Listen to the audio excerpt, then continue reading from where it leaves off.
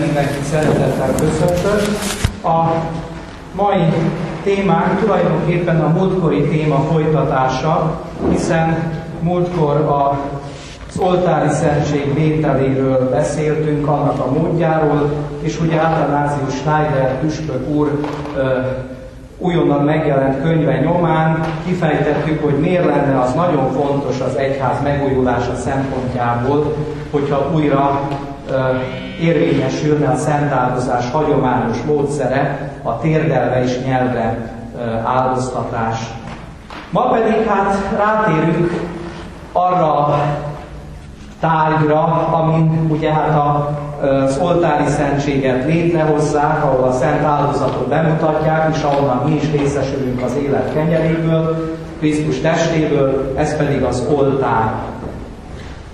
Itt is egy kicsit a mai kornak a helyzetét kritikus szemmel nézzük, és megnézzük, hogy a történelem folyamán hogyan is fejlődött az oltárnak a formája, helyzete a liturgikus térben, szimbolikája, illetve nagyon fontos a misézésnek az iránya. Ezeket a gondolatokat több szerző alapján szedtem össze. Az egyik Michael Davis, elég híres angol szerző, a Katolikus Oltár című könyve, ami magyarul már megvan, de még nem jelent meg, reméljük, hogy erre is lesz majd lehetőség. Azután talán sokan ismerik a Jó Harc című gyűjtemény, ami ugye hát 2006-ban jelent meg, és több nagyon jó liturgikus és teológiai cikk van benne. Halácsi Ervin János atya írt mindjárt a könyv, a kötet elején egy cikket a szembevisézés gyakorlatának kritikája címmel. Ezen kívül nagyon sok gondolat található erről a témáról József Ratzinger a Liturgia szelleme című könyvről, ami kapható a egyházi könyvesboltokban, és mindenkinek ajánlom. Továbbá még két magyar nyelvű könyv is van. Az egyik Uwe Mihály Lang, oratoriánus atya, az Úr felé fordulva című könyv, az Eklézia kiadó kiadásában. Ez 2006-ban jelent meg, és akkoriban a szerző maga is itt volt Budapesten, hogy személyesen bemutassa ezt az alkotást, illetve 2000-ben Louis Bouillet építészet és liturgia című könyve. Tehát ezek mind a témába vágó gondolatokat tartalmaznak. Hát nézzük először is azt, hogy a katolikus templomnak a legszentebb része ugye a szentély, amely otthont ad az oltárnak, és az egész ugye az Ószövetségi templom mintájára van elképzelve, tehát a szentély az megfelel a Jeruzsálemi templom szentek szentjének. Amikor a pap ugye a régi misében fölmegy az oltárhoz, akkor csendben imádkozza, vedd el kérünk Urunk gonoszságainkat, hogy a szentek szentjébe tiszta szívvel mehessünk be. Tudjuk, hogy az Ószövetségben csak és kizárólag a főpap mehetett be a függöny mögé, a szentek szentjébe, a frigláda elé, egyszer évente az engesztelés napján, ekkor ugye arcra borult, az áldozati állatok vérével meghintette a frigládát, kimondta az Istennek a félelmetes nevét, és távozott. Tehát ugye ez az alapja annak, hogy a katolikus templomban is eredetileg a szentély ugye csak is a papnak, illetve a ö, szolgálaterőknek van föntartva, tehát ez egy zárt terület.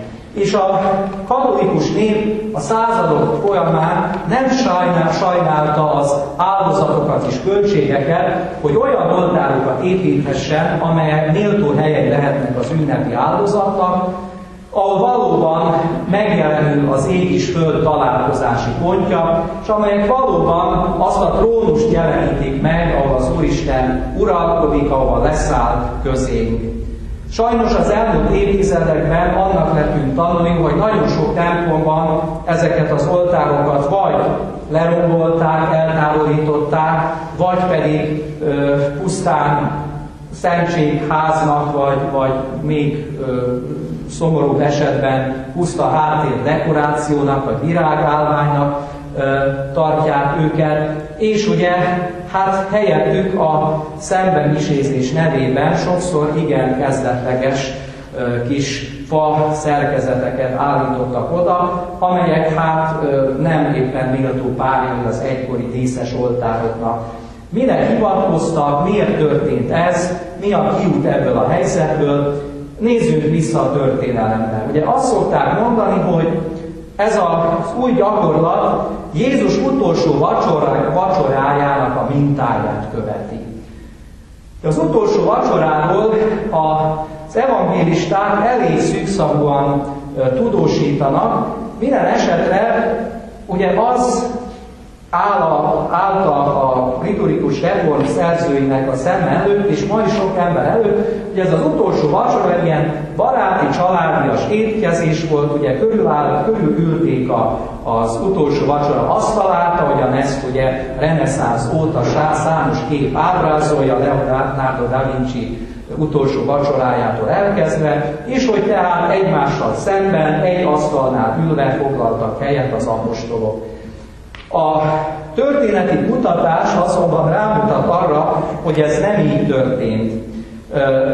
A negyedik, ötödik századi freskók vagy, vagy mozaikok is pontosan ábrázolják számunkra az utolsó vacsorát. Például a Ravennai Szanakognál Novova látjuk, hogy ezek az asztalok igen alacsony ö, emelvények voltak, amelyek félkör alakúak voltak, és az összes vendég az, az asztalnak a külső oldalán foglalt helyet, nem is ülve, hanem ilyen mondhatni díványokon vagy matracokon, ugye feküdt, feküdve, egyik kezükre támaszkodva, és az asztalnak a belső oldala szabad volt a felszolgálók számára. Hogyha ezt is ugye a, a díszhely, tehát a családfőnek vagy a vendéglátónak a helye, az nem a közepén volt, hanem a jobb szélső oldalon. Tehát ugye az U betűnek a jobb oldalán. Na most ebből érthetjük például az olyan evangéliumi jeleneteket, amikor az a bizonyos bűnös asszony észrevétlenül oda lopakodott Jézus lábához, és ugye ráöntötte a drága nádusolajat, és a hajával kezdte törülgetni, és hát nagyon sok festő nem tudja elképzelni, hogy hogy lehet észrevétlenül oda lopakodni valakinek a lábához, és akkor ilyen érdekes megoldásokat keresnek, hogy az asszony ott összekuporodva az asztal alatt próbál ugye lábat mosni. Nem erről volt szó, hanem tényleg, hogyha úgy képzeljük el, hogy feküdtek, és ugye nyilván, hogy valaki észrevétlenül bejöttett az ajtón, és hátulról elkezdette mosni az úrnak a lábát. Vagy például az a jelenet, amikor az utolsó vacsorán Szent János apostol, ugye Jézus szívére hajtja a fejét, tehát ugye olyan közel volt hozzá, hogy észrevétlenül tudtak ugye társalogni, hogy Uram, ki az, aki téged elárul, és akkor Jézus válaszol, hogy az, aki vele megyünk nyúl. Szóval ez is úgy képzelhető el, hogy egymás mellett feküdtek ugye egyik karukra támaszkodva, és, és így társalogtak. Szóval ugye az utolsó vacsora alapvetően más módon történt, mint ahogy manapság egy, egy lakoma történik. Ez egy szigorúan szabályozott rituális étkezés volt, és nem is népnyelven hangzottak ott el az imádságok, hanem ugye szakrális nyelven, nem a beszélt arán, hanem a szent héber nyelven. Na most, hát ugye a következő, hogy az első keresztények, amikor elkezdtek misézni, akkor soha nem az volt a cél, hogy ennek az utolsó vacsorának a külsőségeit utánozzák, hogy mint egy eljátszák, dramatizálják az utolsó vacsora eseményeit, hanem megértették azt, hogy az utolsó vacsora kerete ugyan egy étkezés volt, ugye a zsidó pászka vacsora, de a lényeg, ami az áldozatnak az elővételezése, tehát halál előtt az Úr Jézus előre fölajánlja saját magát az ő engedelmességét, az ő szeretet áldozatát az atyának. Tehát ez a lényeg, ezt kell utánozni, ezt cselekedjétek az én emlékezetemre. Tehát már az első keresztényeknél ez a lényeg, ez mintegy elválik a vacsora és az étkezés keretei között, és kialakítja magának a neki megfelelő rituális keretet. Természetesen az első századokban, mivel hogy hát üldöztetés alatt éltek a keresztények, nem építhettek saját templomot, így hát a liturgia végzése külső formájában is, rituális szerkezetében is nagyon szerény volt, ugye. Természetes, hogy a jellemző az rövidség, az egyszerűség volt, hogy a szenniség egyszerű asztalakon mutatták be, a híveknek a házában, legtöbbször ugye a gazdagabb hívek, akiknek nagyobb házuk volt, ugye rendelkezésükre bocsátották a háznak az étkező termét, és itt aztán a hívek a fal mentén foglaltak helyet, és úgy vettek részt a szenmisén. Mindez alapvetően megváltozik, ugye Nagy Konstantin, illetve Nagy Teodózius római császárok alatt, akik ugye Konstantin megadja a kereszténységnek a szabad vallásgyakorlási jogot, Teodózius pedig államvallását teszi a kereszténységet, épülnek a gyönyörű bazilikák, egyre díszesebbek válnak a szent edények, ruhák, a szertartás is egyre inkább bővül ünnepi körmenetekkel, rendkívül kidolgozott fényes rítusokkal, tehát az illegális és magánszertartásból nyilvános és államilag jóvá hagyott rítus lesz. És annak a kornak az emlékére, amikor a szennisét ugye sokszor vértanú sírja fölött mutatták be, illetve katakombákban, kialakul az a szokás, hogy ahol nem vértanú sírja föl épül a templom, akkor az oltárba ugye beépítenek egy-egy vértanú erekjét. Többek között azért is volt erre szükség, mert akkoriban már a városon kívül levő katakombák nagyon sokszor rabló prédájává lettek, tehát ki kellett menteni a vértanúknak az erekét, be kellett őket hozni a városba, és természetesen hát mi lenne méltóbb hely, mint az oltár alatt elhelyezni őket.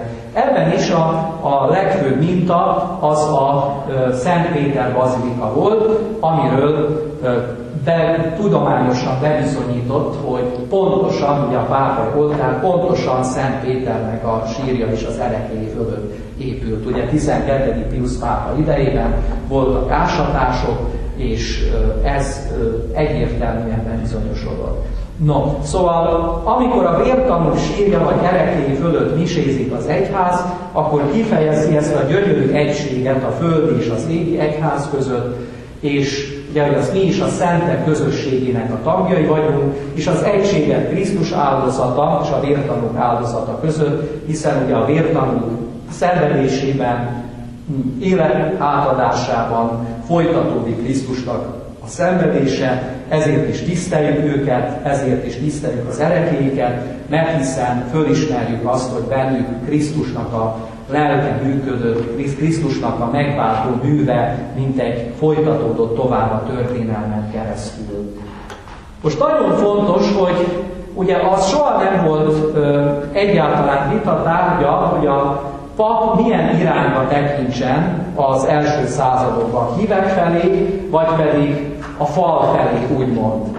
Az egyetlen egy lényeges dolog az volt, hogy kelet felé kell tekinteni mindenkinek, az imádság alatt. Ez nem egy keresztény specialitás, tehát az ókori vallások legtöbbje az ö, orientált vallás, tehát az imádságban van egy bizonyos orientáció, egy ima, kötelező ima irány. Ö, Louis Bouillet föltárja azt, hogy kétfajta elképzelés van. Ugye egyes vallások egy földrajzi ö, ö, objektum, irányába imádkoznak, például ugye a muzulmánok Mekka felé, a Szentkő, a Kába felé fordulnak. A zsidók mindig a Jeruzsálemi templom felé fordultak. A keresztényeknek az orientációja az kozmikus orientáció, tehát nem egy bizonyos templom vagy szent tárgy felé, nem is Jeruzsálem, mint Szentváros felé, hanem mindig kelet felé. Miért? Mert a kelet ugye a fényoldal, ahol a nap fölkel, és a fölkelő nap mindig a föltámad Krisztus szimbóluma. Vannak még más fajta magyarázatok is. Ugye Krisztus, amikor meghal a kereszten, nyugat felé tekint, tehát amikor mi kelet felé fordulunk, akkor valójában a megfeszített Krisztus felé fordulva imádkozunk. Illetve ugyanígy, amikor ugye fölmegy a mennybe, ott is nyugat felé fordul, miközben fölemelkedik a földről, és azt mondja, hogy amikor újra eljön az ember fia, akkor ez olyan lesz, lesz amikor a villám cikázik keletről elkezdve nyugat felé. Tehát ugye, mint egy Krisztus második eljövetelének a várása is ez, hogy kelet felé fordulva várjuk a, a az Úr második dicsőséges eljövetelét. Szóval ezek a szimbólumok mind benne vannak a keleti imairányba, és ez később még nagyon fontos lesz, hogy emiatt a háznak, vagy később a templomnak a keleti falát egy keresztel jelölték, hogy mindenki arra forduljon. Most amikor templomokat kezdenek építeni a keresztény közösségek a konstantini fordulat után, kétfajta templom berendezéssel találkozunk. Az egyik típus az főleg nyugaton és főleg Róma városában terjedt el, a legősi bazilikákban, amikor a templomnak a szentélye, vagyis az abszisa, ugye a félkör alakú zárodása nyugat felé tekint, és a templomnak a bejárata kelet felé. A másik az főleg keleten terjedt el, fordítva. Tehát, hogy a templomnak az abszisa mindig kelet felé, és az ajtaja nyugat felé tekint. Bárhogy is legyen a berendezés, mindig az a lényeg, hogy a szent misztériumokat kelet felé kell ünnepelni. Így érthetjük azt, hogy például a római Szent Péter bazilikában ugye mindig is így volt a zsinat előtt is, kezdet-kezdete óta, hogy a pap az oltár nyugati oldalán állt, és kelet felé tekintett. Tehát a Szent Péter bazilikának ugye az ajtaja néz kelet felé. Tehát látszólag a hívek felé fordulva mutatta be a Szent a pápa. Azonban ne felejtjük el azt, hogy a, mit csináltak a hívek. Először is nem a főhajóban gyülekeztek, a főhajó az mindig a körmenetek, szertartások számára volt föntartva, a hívek az oldalhajóban foglaltak helyet, külön a férfiak és külön a nők. Ugye, hogy ezzel is mindenfajta kísértést vagy, vagy méltatlan viselkedésmódot elkerüljenek, ugye? Tehát a, a hagyományosan a, a ugye férfiak oldal a lecke oldal, a nők oldal az evangélium oldal. És amikor a pap ugye elkezdte a Szentmise második eukarisztikus részét, Szent Ágoston beszédeiben pontosan mindig le van írva, hogy a, úgy fejezte be a beszédet, hogy conversiat dominum oremus, most pedig az Úr felé fordulva imádkozzunk, és akkor mindenki, a papot és a híveket is beleértve kelet felé fordultak. Úgy tűnik nekünk, hogy hátat fordítottak az oltárnak. Nem, mert ugye az oldalhajóba foglaltak helyet, így nem, mert az tiszteletlenség lett volna, olyat nem csináltak volna, hogy direkt a Szent Mise alatt hátat fordítsanak az oltárnak, de az oldalhajóban állva, kelet felé fordulva, mint egy ilyen félkör formációban vettek részt a Szent áldozaton, és ez is mutatta a várakozást, ugye, az eljövendő Úrnak a, a befogadását. Keleten természetesen ez nem volt probléma, ott mindig is kelet felé nézett az abszis, mindenki kelet felé tekintett pap és hívek egyaránt, és ez a gyakorlat, ami keleten már a negyedik században általánosan elterjedt és kötelező, nyugaton is elterjedt és kötelezővé válik száz évvel később. Tehát az ötödik századra nyugaton is elterjed ez a, ez a szokás és törvény, hogy a templomokat mindig kelet felé fel kell fordítani. Sajnos a középkor alatt ezek a szép ókori szimbólumok és teológia elfelejtődik valamiképpen. Nagyon sokszor a helyi viszonyok, ugye az építészeti viszonyok nem engedik azt, hogy kelet felé tekintsen az abszis, és így ez az orientáció megszűnik. A Úgyhogy, úgyhogy nagyon sok templomban ugye inkább azt mondjuk, hogy a liturgikus kelet felé nézünk, ami nem mindig azonos a földrajzi kelettel, vagyis hát a csillagászati kelettel. Viszont a hívek bekerülnek ugye a középkor folyamán a főhajóba, és így módon, amikor a pap ugye kelet felé tekint az oltár előtt, a hívek a háta mögött, ugyancsak kelet felé fordulva, akkor ez nem azt jelenti, hogy a pap hátat fordított a híveknek, hanem azt jelenti, hogy közösen vonulunk, tehát egyfajta dinamikus egyházképet jelenítünk meg, hogy a pap, mint pásztor vezetésével vonulunk ugye az elveszett, az örök élet felé, az elveszett mennyei haza felé. Egyébként itt is egy szép ókori szimbólum, hogy ugye a paradicsom, az édenkert, az keleten volt amikor kelet felé fordulunk, akkor az elveszett paradicsomba zarándokolunk, mint egy visszatérünk oda, onnan a bűn miatt kiüzettünk. Tehát így néz ki a, a, az ókor, középkor, és egyáltalán nem is volt ez kérdés, hogy másképp kellene, hogy legyen. Egy szép egyházatja idézett, Damaszkuszi Szent János egyházatja 7. századból azt mondja, amint az Úr fölment a mennybe, amikor az Úr felment a mennybe, kelet felé fordult, és az apostolok is így imádták. Ugyanúgy fog visszajönni, ahogyan az apostolok elmenni látták, ezért mondja maga az Úr, ahogyan a világ keletről nyugat felé cikázik, úgy lesz az fia eljövetele is. Mivel, hogy várjuk őt, kelet felé imádkozunk. Ez az apostolok szóbeli hagyománya. Tehát Damaszkuszi Szent János szerint ez egy apostolokra visszamenő hagyomány. Nos, egészen addig így maradt a helyzet, ami a 16. században meg nem jelent a protestantizmus. A protestantizmus ö, ö, kritikájának legfőbb célpontja a katolikus szentmise volt. A következőket ö, tudjuk idézni például Luther Mártontól. A pápaság teljes rendszere nyilvánvalóan a misé, mint sziklán alapszik, kolostoraival, püspökségeivel, társas kártalanjaival, oltáraival, papjaival, dogmáival, vagyis összes bógliával. Mindez nem képes nem összeomlani, ha szétromboljuk szentségtörő és gyűlöletes miséjüket. Egy anglikán püspök, John Cooper, Gloucester anglikán püspöke így valamiséről. Hiszem is hallom, hogy a katolikus mise egy emberi találmány és alkotás az Antikrisztus áldozata és Jézus Krisztus áldozatának, vagyis az ő szenvedésének és halálának megcsúfolása, és hogy egy büdös, fertőző sír, amely elrejti és eltakarja Krisztus vérének érdemét. Ezért a misét el kell törölni, és az úrvacsoráját helyreállítani, és újra elrendelni a maga tökéletességében. Hát Luthernek Például az egyik célkitűzése az volt, hogy a, ugye a mise áldozati jellegét eltörlendő, ami minden bajnak a forrása, meg kell fordítani az oltárt, vagyis úgy kell misézni, ahogy véleménye szerint kétségtelenül Krisztus is az utolsó vacsorán. A következőt mondja Luther a német mise és az Isten tisztelet rejtje című könyvében. Hagyjátok meg a ruhákat, az oltárt, a gyertyákat, amíg el nem használódnak, vagy amíg el nem határozzuk, hogy megváltoztatjuk őket. Ha pedig valaki más módon akarja csinálni, hagyjátok, hogy megtegye.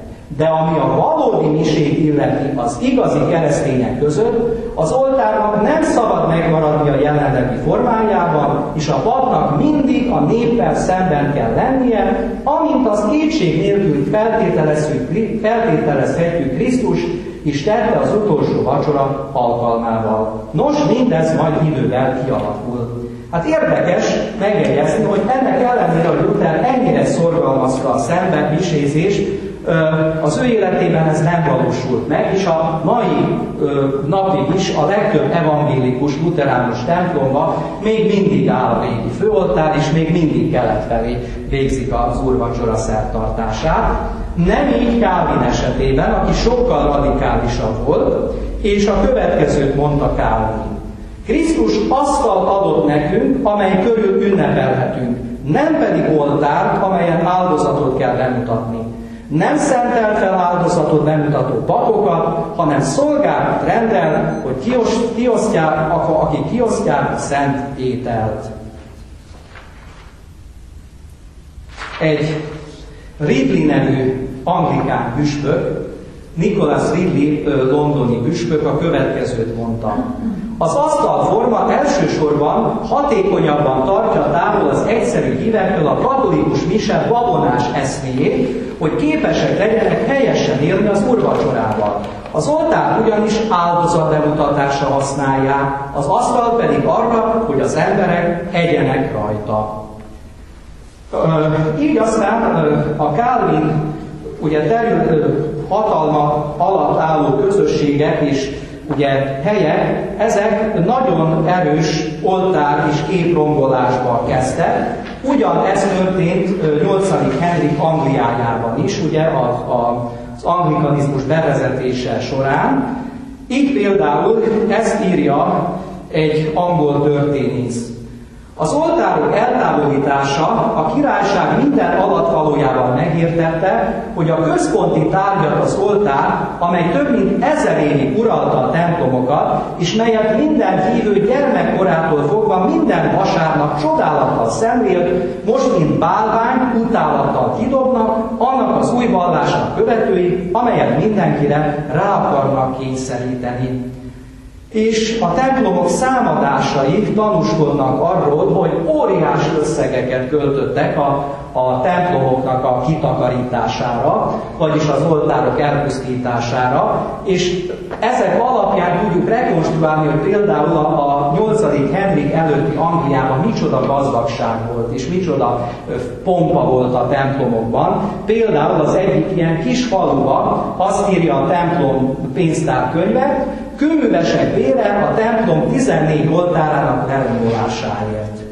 Hát ugye el tudjuk képzelni ezeknek a templomoknak a benseit, ahol egykor számtalan szentiség mutattak be.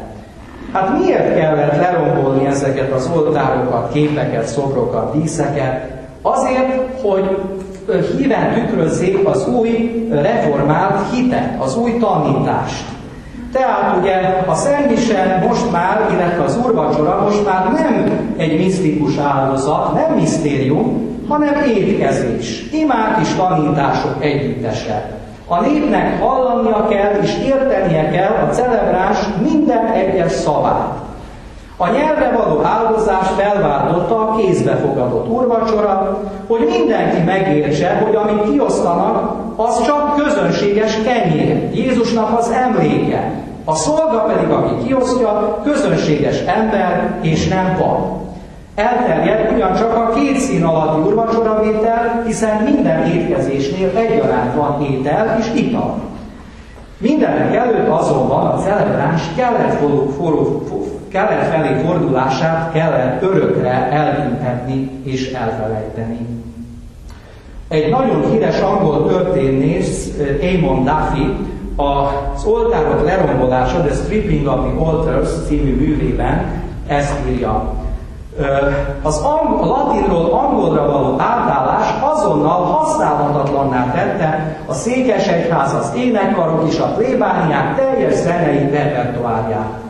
Nem is megdöbbenést okozhatott az új imakönyv, a Book of Common Prayer 1549-ben történő megjelenése, mely minden szolgálat előtt elhallgattatott, kivéve egy jelentéktelen kisebbséget, a liturgiát pedig a plébános és a káplán unalmas párbeszédévé csupaszította. Tehát ugye érdekes párhuzamokat fedezhetünk föl sokszor a modern történelemmel. Tehát miután az új rítusok általánosan elterjedtek az angol nép körében, a reformáció lényege már teljesen győzedelmeskedett. Az egykor élő hagyományok a rítusok kihalásával észrevétlenül kialudtak az, az emberek elméjében és érzéseiben, anélkül, hogy módszeres erőfeszítéssel kellett volna őket kiirtani.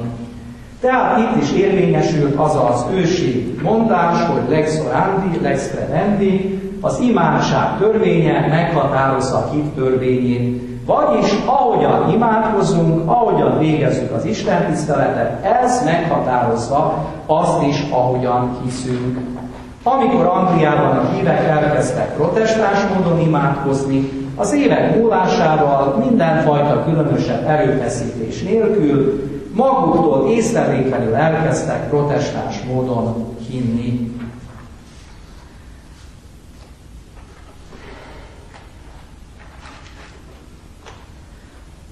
A következő nagy ugrással természetesen a következő állomásunk a második vatikáni zsinat. Hogyan történt meg az, hogy a katolikus egyházban is, hát sokszor valami hasonló oltár és képrombolás történt, és hasonló ugye, rendelkezéseket próbáltak bevezetni a mise irányjal kapcsolatban. Azt mondják, hogy ugye ezt rendelte el a második vatikáni zsinat, a zsinati atyák ilyen reformot kívántak.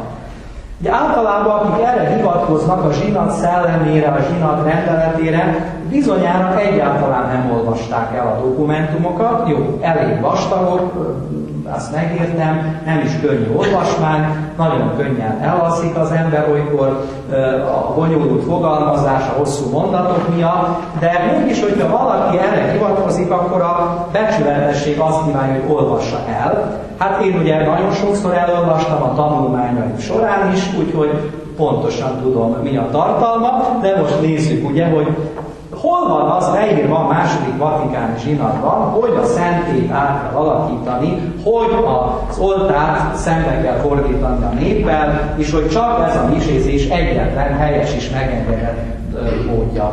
Sehol. Röviden és egyszerűen sehol. Egyetlen egy betű a második vatikáni zsinatban erről nem szól. Mégis hogyan terjedt el ennyire elsőprően is egyetemesen ez a szokás? Hát ugye a, megnézzük a módszert, a csúsztatásokat, ugye. Amikor erről beszélünk, akkor több ö, szerzőre is hivatkozunk. Az egyik ö, a Regensburgi liturgia tudós Monsignor Klaus Gamber. Egyébként Klaus Gamber ö, József Ratzinger kedvenc liturgia tudósa volt, a 20. század egyik legnagyobb liturgistájának tartotta, és azt mondja, most idézem Ratzinger, olyan tudós volt, aki az álliturgisták serege közepette valóban az egyház központi liturgikus gondos, gondos, gondolkodását képviseli. Hát, ugye a másik, akire hivatkozunk, az John Heelan, Westminsteri bíboros, aki megírta a zsinat alatti tapasztalatait, érzéseit a Crown of Thorns, a Tövis korona, Tövis koszorú című könyvében, ahol számos hát kritikus megjegyzést is tesz a reformokról, és hát John Heenan bíborosról meg kell jegyezni, hogy ő volt az első olyan püspök, aki hatodik Pál pápától kieszközölte, hogy Angliában engedjék meg a hagyományos liturgia további végzését. Tehát Angliában mindjárt a zsinat után volt egy lehetőség, persze sok-sok korlátozással, hogy a régi mise tovább élhessen. Hát azt mondja John Heenan, bíboros, a legjobban megtárgyalt téma a zsinaton a liturgikus reform volt. Helyesebben azt mondhatnánk, a püspökök azt a benyomást kapták, hogy a liturgia teljes egészében vita tárgyává lett. Világos, hogy csak az általános irányelvek megvitatására kaptak lehetőséget, a későbbiekben bekövetkező változások sokkal radikálisabbak voltak, mint amit 23. János pápa és a püspökök szándékoztak. Az első ülésszak végén tartott homíliája azt mutatja, hogy János pápa nem is sejtette, mit terveznek a liturgikus szakértők. Most ez a szakértő, latinul peritus, ez a kulcs fogalom itt. Mert ugye azt gondolna az ember, hogy egy zsinaton ugye a legfőbb hatalommal, a döntési hatalommal a zsinati atyák, a megjelent püspökök és rendfőnökök rendelkeznek. Ugye ezek körülbelül 3000 voltak jelen a zsinaton, de hát ugye ezek hoztak magukkal úgynevezett szakértő tanácsadókat, perituszokat, akik ugye megfogalmazták a dokumentumokat, akik sokszor vezették a vitákat, és akik pontosan tudták, hogy a zsinat után ők lesznek megbízva a dokumentumok értelmezésével és a dokumentumok valóra váltásával, tehát ők fognak ülni azokban a bizottságokban, amelyek a zsinatnak a végrehajtását fogják végezni. Hát ezek a peritusok ugye pontosan ö, tudták, hogy a zsinati atyáknak olyan szövegeket kell előterjeszteni, amelyek nagyon-nagyon dicséretes és jámbor és szép dolgokat mondanak, Azonban néhány praktikus pontnál, rendelkezésnél fogalmazunk egy kicsit kétértelműen, hogy lehessen egészen hagyományos módon is értelmezni, de úgy is, mint egy abszolút forradalmat, mint egy időzített bombát, amit majd a későbbiek folyamán fölrobbantunk. Például ugye mit mond az oltáról a liturgikus konstitúció? Nem sokat, a 128. pontban ezt mondja. Mielőtt felül kell vizsgálni a liturgia felszerelési tárgyaira vonatkozó általános jogszabályokat, helyi rendelkezéseket és a liturgikus könyveket, főként azokban a kérdésekben, amelyek a templomok méltó és célszerű szerkezetét, az oltárok formáját és építését, a szentségház méltóságát, elhelyezését és biztonságát, a keresztelőút alkalmasságát és méltó helyét, a szentek képeit és szobrait, díszítések és ruházat használatát szabályozzák. Mindaz, ami kevésbé felel meg a megújított liturgiának, meg kell változtatni, vagy meg kell szüntetni, ami pedig előmozdítja, azt meg kell tartani, vagy be kell vezetni. Hát ugye látszólag ez nagyon dicséretes, mert melyik hívő nem szeretné azt, hogy a templom méltó és célszerű szerkezetű legyen, hogy a szentségház méltósága, biztonsága biztosítva legyen, hogy ugye minden az egyház törvényeknek megfelelően történik, ez önmagában egy rendkívül dicséretes és jámor óhaj. Hát azt mondja, hogy ebből a püspökök nyilván nem tudtak volna arra gondolni, hogy épülnek majd olyan templomok, amely repülőterek rosszul tervezett parkolóházaihoz lesznek hasonló, és semmi módon nem lesznek templomként fölismerhetők.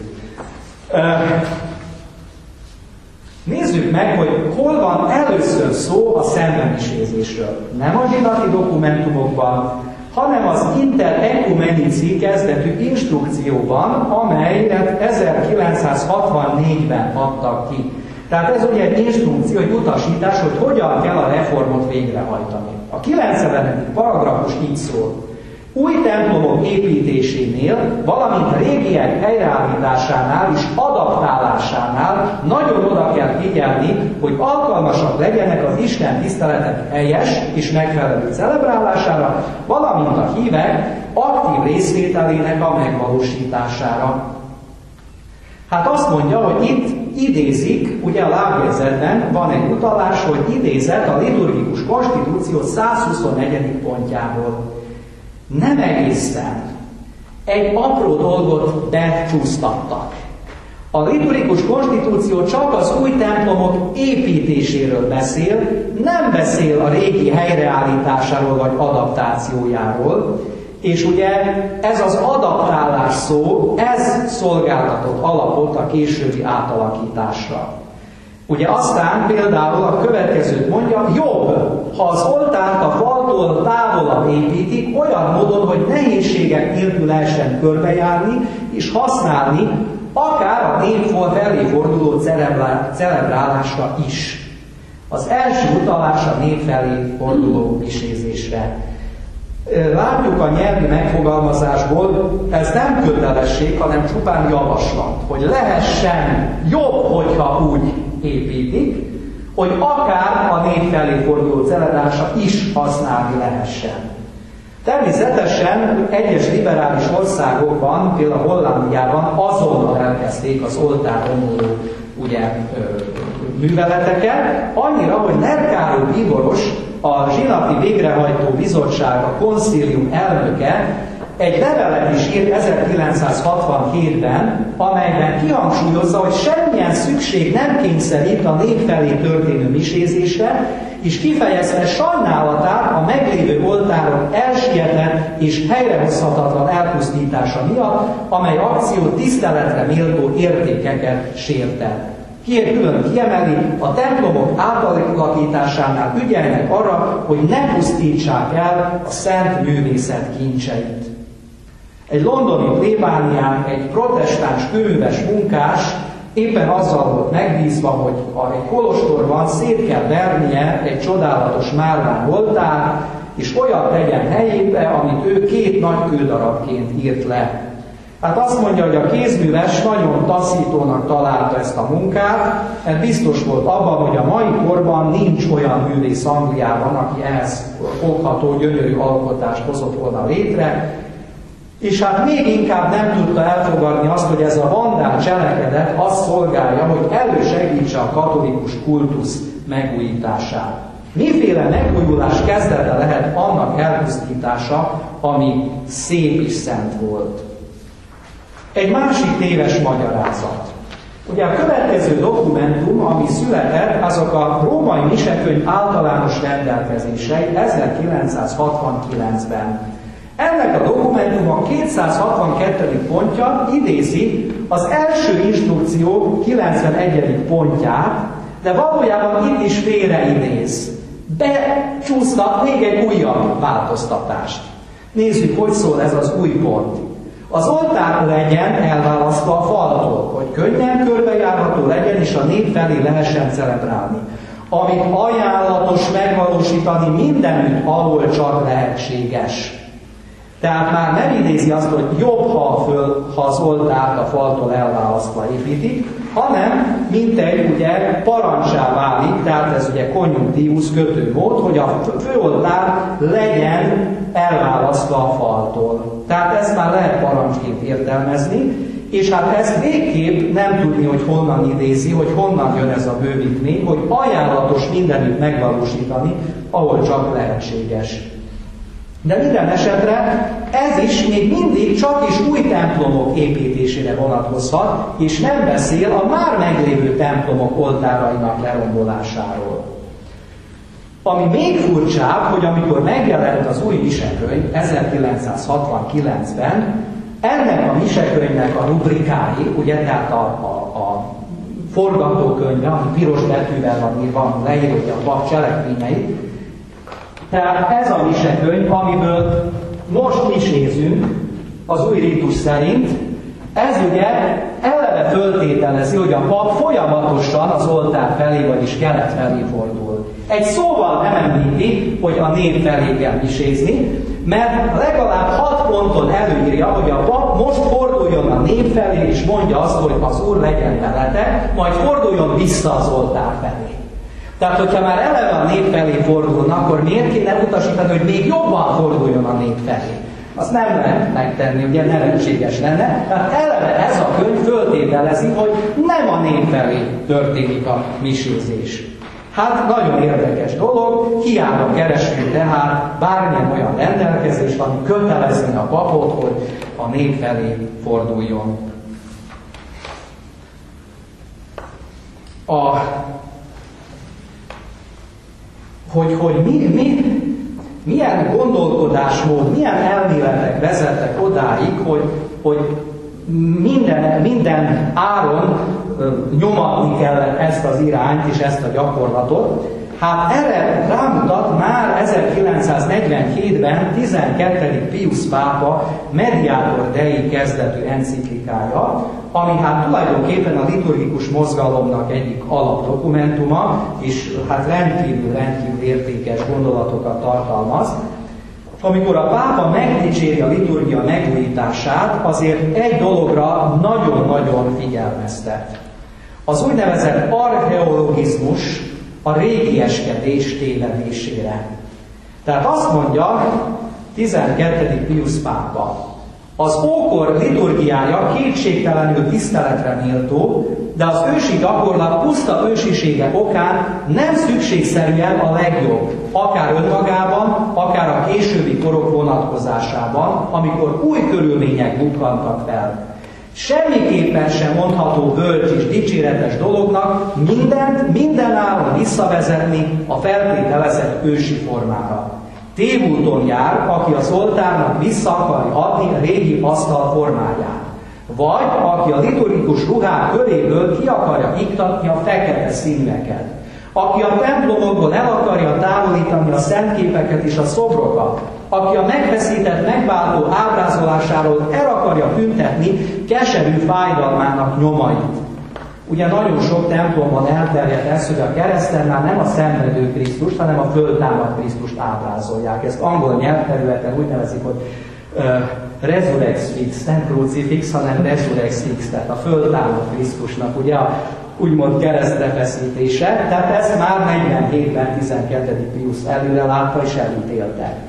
Ez a gondolkodás és cselekvésmód, cselekvés, cselekvésmód valójában feltámasztja a törvénytelen, pisztolya és zsinaton született, túlzó és egészségtelen archeologizmust, és azon erőlködik, hogy újjá élesse azt a számos tévedést, amely ennek a hamis zsinatnak célkitűzése volt, és amit a lelkek nagy kárára követnek, de amit az egyház, mint az Isten alapítója által rábízott hitletétemény éverőzője jó okkal elítél.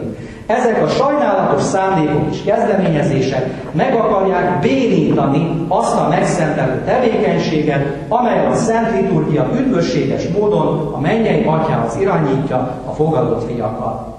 Tehát előre látta, hogy hova fog elmenni ez a mozgalom, és mondta, hogy ezt az egyház már a 17. században elítélte a törvénytelen pisztolyai zsinaton. Ez a pisztolyai zsinat a fölvilágosodás szellemében és a janzenista eretnekség szellemében olyan dolgokat javasolt, ugye, hogy, hogy például minden templomban csak egy oldal legyen a nép felé fordítva, csak népnyelv, csak hangos imádságok lehetnek, csökkenteni a, a búcsúkat, a szentek tiszteletét, a Mária tiszteletet, ugye kitenni a szobrokat, képeket, stb. Tehát ilyen dolgokat követelt ez a zsinat, és ezt a pápa elítélte, mint olyat, ami a lelkekre nézve káros, és ami korlátozza az egyház megszentelő tevékenységét. Még egy fontos ér, amit manapság is sokszor hangsúlyoznak, azt mondják, hogy, hogy hát a szemremisézés lelkipásztori szempontból rendkívül, rendkívül előnyös és szükséges.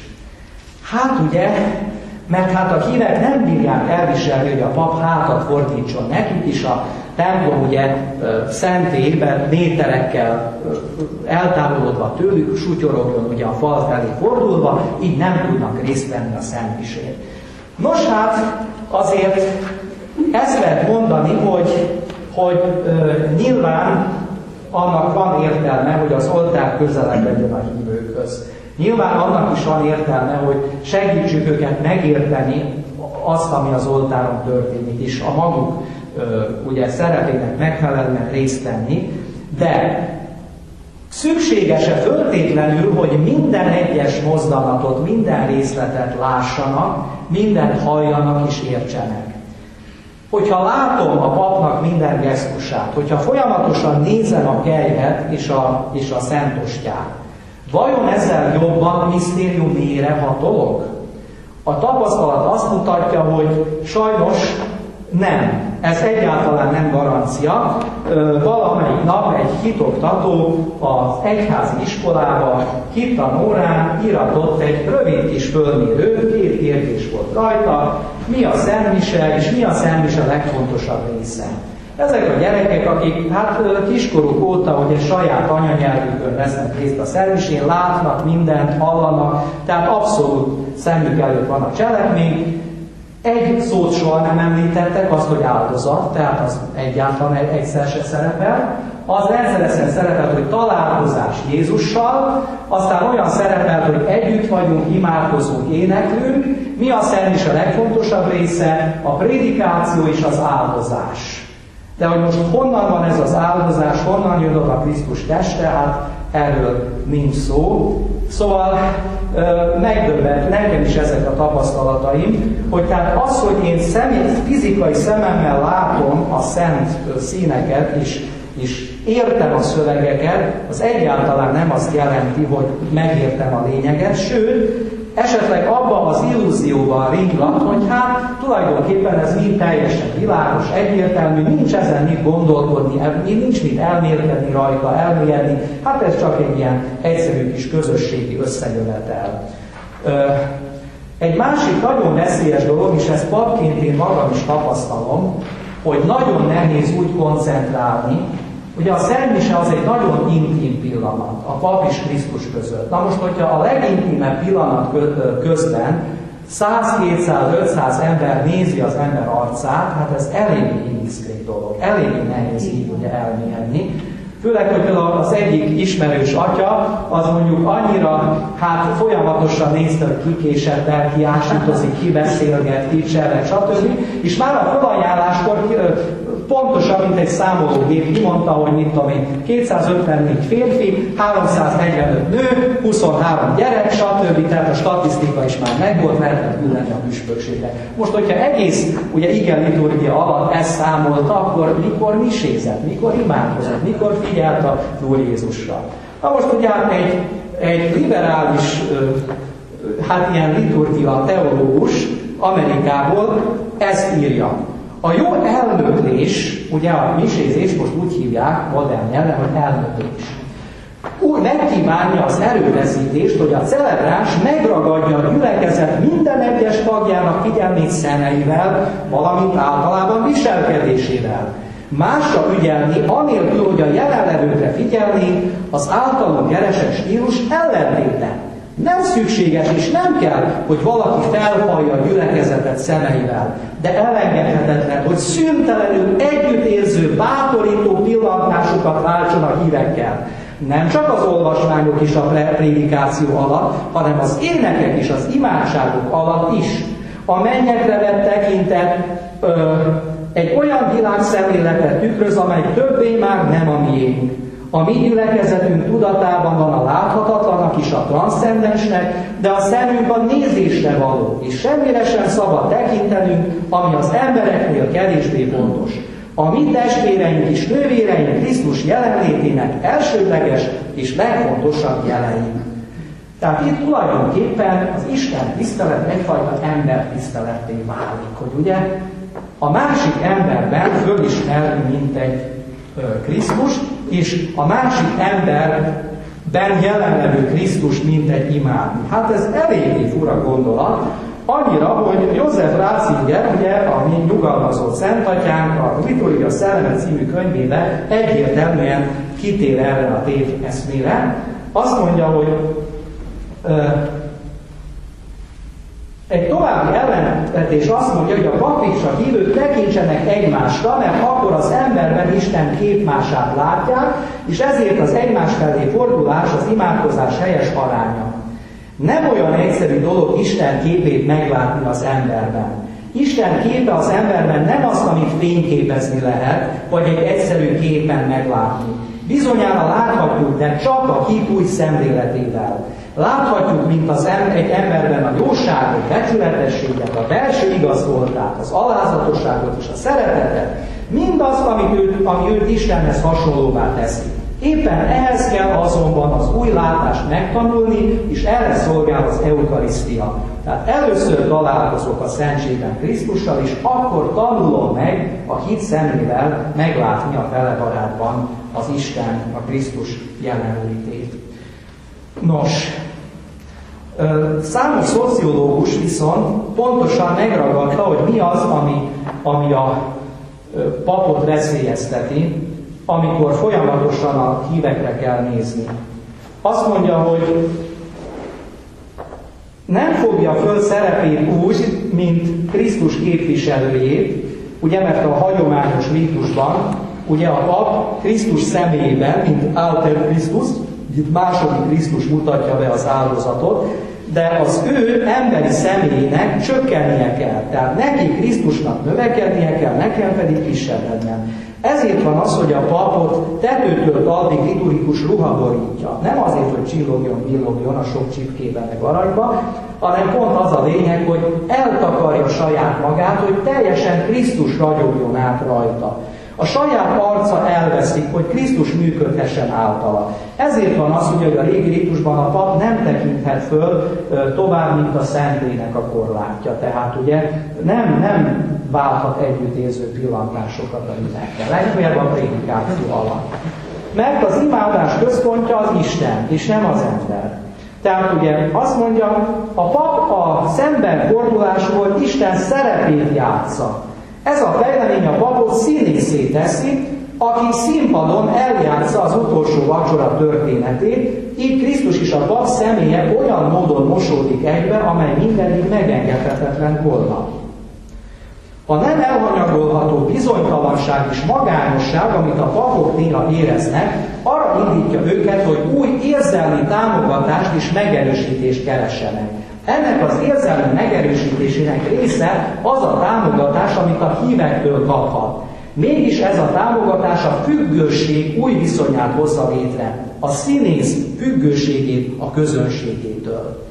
Ezért van az, hogy nagyon sok nyugati országban a papok nem írják ki, hogy egy beszéd alatt legalább három viccet elmesüssenek, hogy folyamatosan ugye személyes üzeneteket küldjenek az oltártól, mondjuk ezt egyszer egy Mária rádiós közvetítésben is hallottam, hogy áldjon meg benneteket a mindenható Isten, az Atyai Fiú és a Szentülek, Mari várom a teára, Jóska bácsi nagyon jól áll, itt a kabátja, a szemmise véget ért, menjetek békével. Tehát eddig megy ez a dolog, hogy a színész függősége a közönségétől.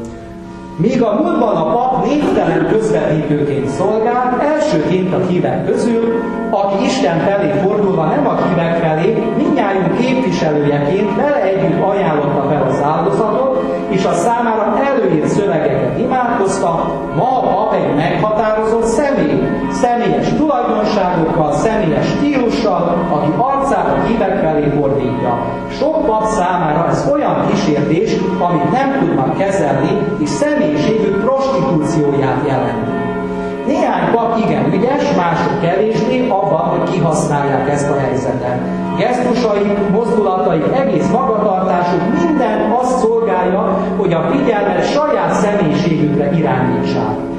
Néhányan azzal vonják magukra a figyelmet, hogy ismételt megjegyzéseket tesznek, utasításokat adnak, vagy hogy személyes üdvözleteket intéznek az érkező vagy távozó hívekhez. Számukra előadásuk sikere személyes vonzóerők mércéje, és ezért önbizalmuk és biztonság érzelmük jelzője is.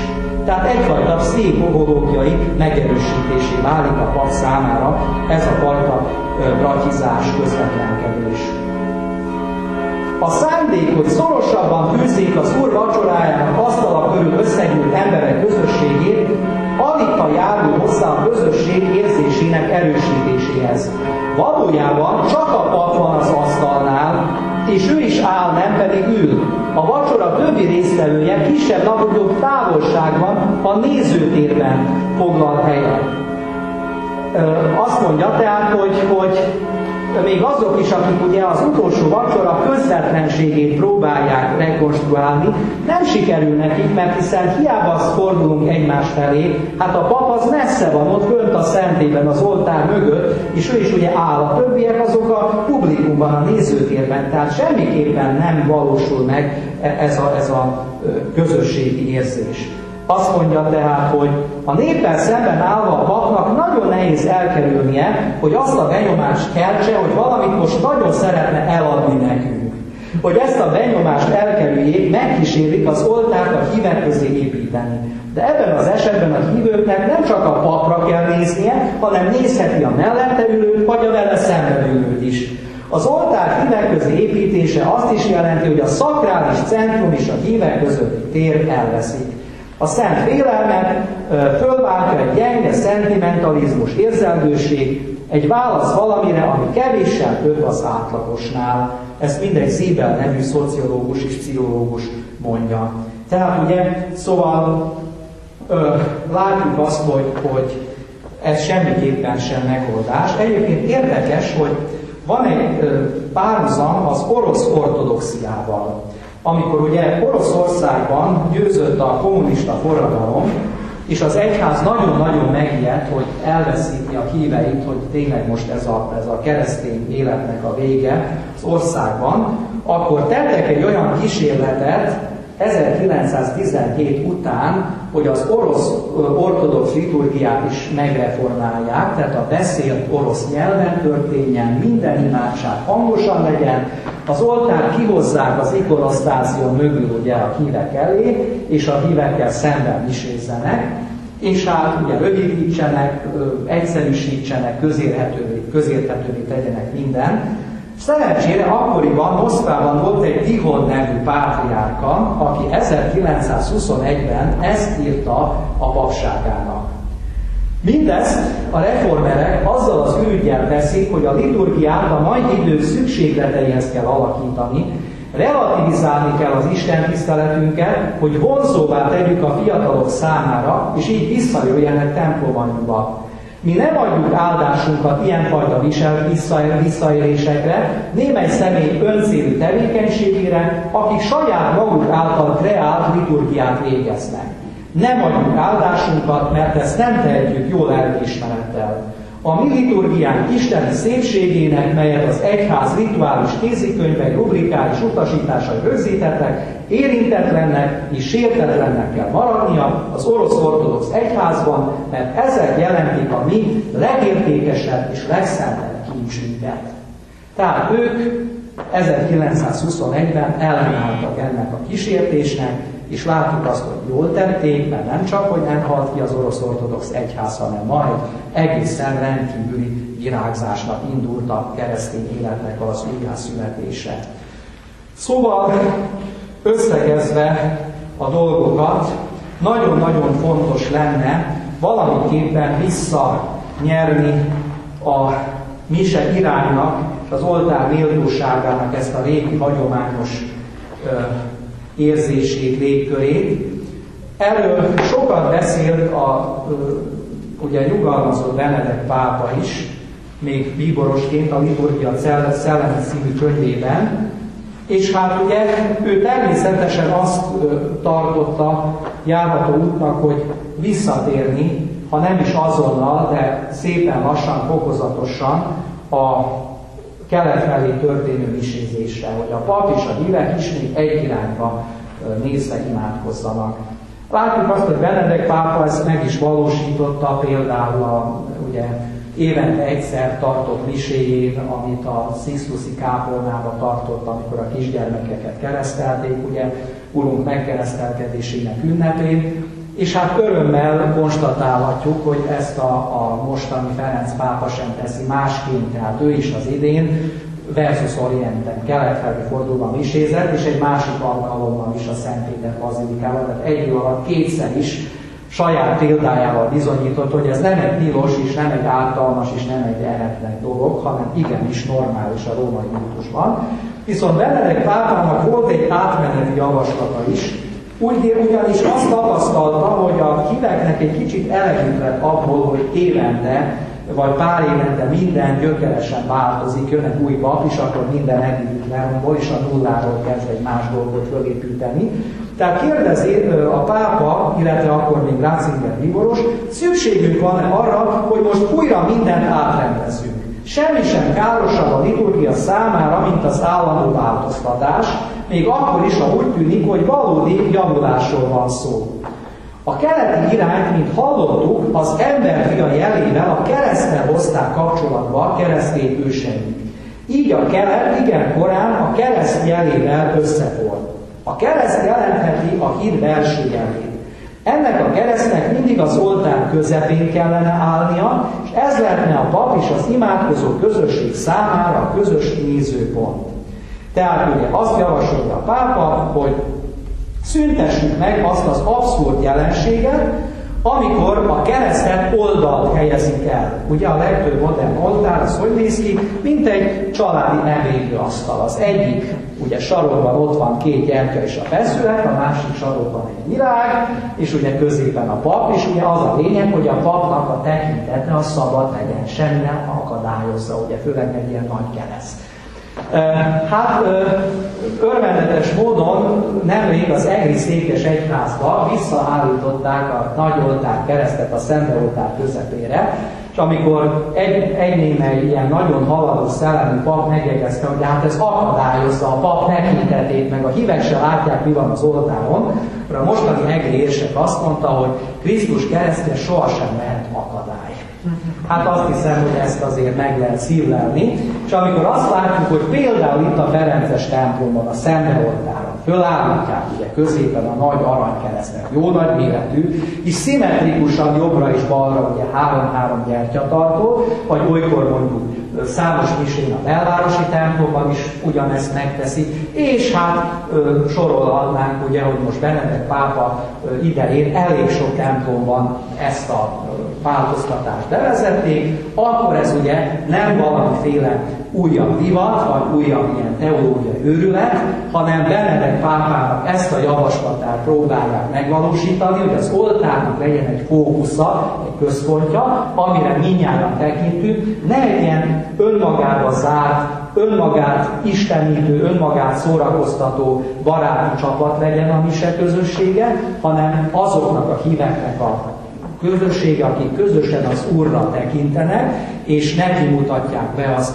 áldozatot. Hát ugye ezt Benedek pápa átmeneti megoldásként szánta, hogy idővel ebb, ebb, így visszaszokjanak ugye a orientációhoz. Egyébként azt nagyon-nagyon szépen kifejtette, hogy miért fontos ez a, ez a visszatérés? Hát ugye régi ritusban ez nem kérdés, nem probléma, de mondjuk a többi miséken is jó lenne ebbe az irányba indulni, amit az új rendszerünk mutatnak be. Tehát azt mondja, és ezzel lezárom tényleg Ratzinger Bíboros, a későbbi Benedek pápa, hogy az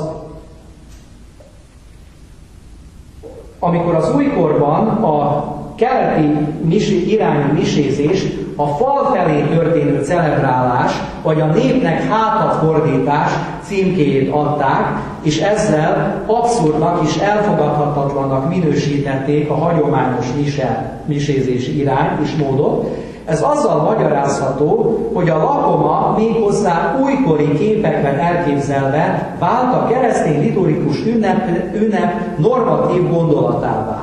A valóság ezá, valóságban ezáltal olyan klerikalizálódás jött létre, ami azelőtt sohasem létezett. Most a pap, az előjáró, az egésznek a tulajdonképi, tulajdonképpeni vonatkozási pontjává válik. Minden ő rá vonatkozik. Őt kell látni, az ő cselekvésében kell részt venni, neki kell válaszolni, az ő kreativitása hordozza az egészet.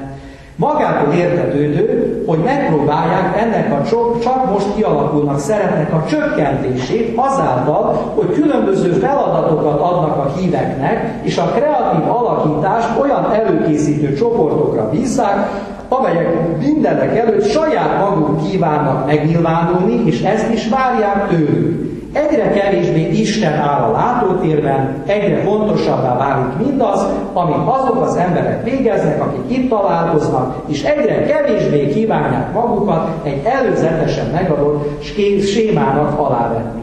A papnak a néphez való fordulása így a közösséget egy önmagában zárt körré alakítja. A közösség alakjánál fogva többé nem nyitott előre és fölfelé, hanem, hanem saját magába zárul. A közös kelet felé fordulás viszont nem a fal felé történő celebrálás, nem azt jelentette, hogy a papa népnek a hátát mutatja, hanem amint a zsinagógában közösen pillantottak Jeruzsálem felé, itt pedig közösen az Úrra tekintenek. A papnak és a népnek közös irányultságáról van szó, annak, akik tudatában vannak annak, hogy közösen haladnak egy menetben az Úr felé. Nem alakítanak köröket, nem egymás szemlélik, hanem az Oriens felé, a kelet felé felkerekedett, felkerekedett Isten népeként a hozzánk közeledő, eljövendő Krisztus felé vándorolnak. Tehát ilyen módon értékeljük és becsüljük a keleti imairányt, Köszönöm a figyelmüket, még mondtam volna egy pár szót a tabernákulumról, de nem van majd arra is adott alkalom. Úgyhogy most nem kelet felé, de a kereszt felé fordulva azt mondjuk, hogy dicsőség az atyának, a fiúnak és a szentléleknek, miképpen most és mindörökké. Köszönöm figyelmüket, és mindenkinek hát szép jó éjszakát kívánok.